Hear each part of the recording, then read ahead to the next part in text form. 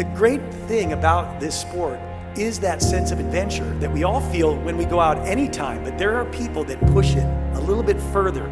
They look at that horizon and they think, what's beyond that horizon?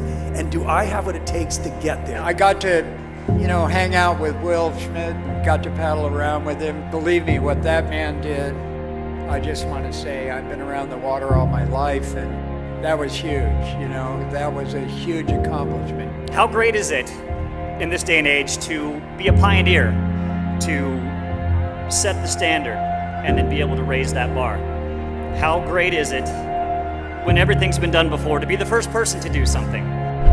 Let me have it easy.